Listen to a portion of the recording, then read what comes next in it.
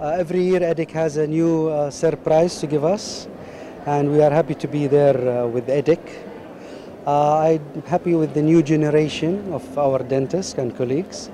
The topics are increasing and now there is ortho and surgery pre-conference which is adding a lot of value to AEEDC also. Well, I hope every year to see AEEDC bigger and bigger and uh, to have more topics uh, rather to have only in, in, in uh, surgery like now the new CAD CAM system, the digitalizing uh, uh, uh, programs to combine it with clinical dentistry. Yeah, I'm so happy to be that.